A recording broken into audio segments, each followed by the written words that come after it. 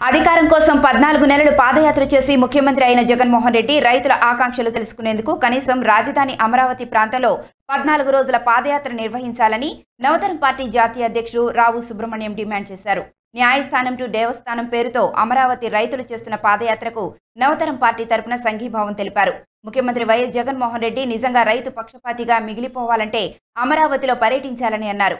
మూడు రాజధానులు ప్రతిపాదనకు వ్యతిరేకంగా రైతులు నిరసన దీక్షలు చేస్తున్న శిబిరాలు సందర్శించి వారి అభిప్రాయాలను నేరుగా తెలుసుకోవాలని ఆయన కోరారు. నమస్తే.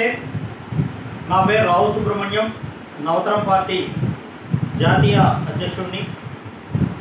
ముఖ్యంగా ఈరోజు రాజధాని అమరావతి పరిరక్షణ సమితి ఆధ్వర్యంలో దేవస్థానం